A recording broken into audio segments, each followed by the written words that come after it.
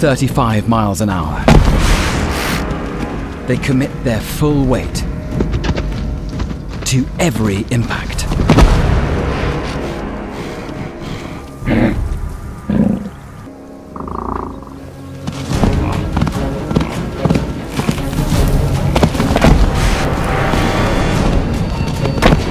Usually one backs down.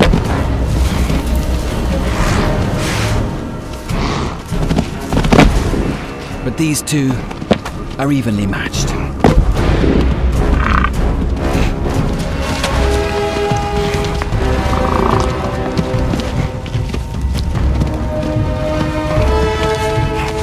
When the dominant bull gains higher ground, he uses it to his advantage.